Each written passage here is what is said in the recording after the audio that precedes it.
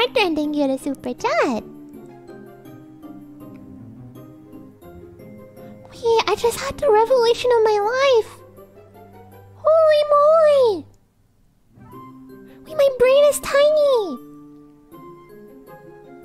Since earlier, you've been sending me super chats at 603. And I was like, what? Why is 603? But then I thought, and then I realized. Ze, mi. Oh my god, I can't.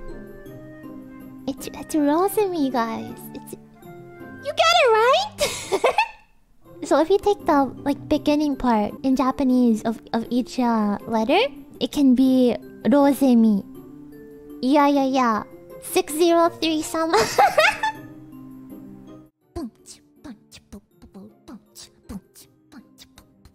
Hey yo, the name's Rosemi, and they always call me